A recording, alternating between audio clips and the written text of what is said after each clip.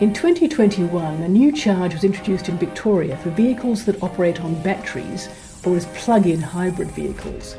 This would affect over 19,000 vehicles in Victoria. The charge is calculated based on the number of kilometres a ZLEV travelled. We received more than 30 complaints about the application of the ZLEV Act. These complaints concern two main issues whether the charge was unreasonably applied considering all individuals use their vehicles differently, and whether additional charges imposed after an owner submitting a late odometer declaration were reasonable. The investigation found the department failed to develop adequate policies to guide staff on the implementation of the ZLEV Act.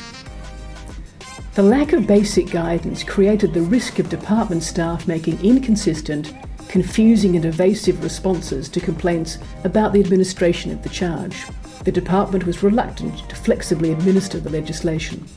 The department has accepted my recommendation to review the handling of each complaint it received under the ZLEV Act. As long as the ZLEV Act is Victorian law, it needs to be administered fairly.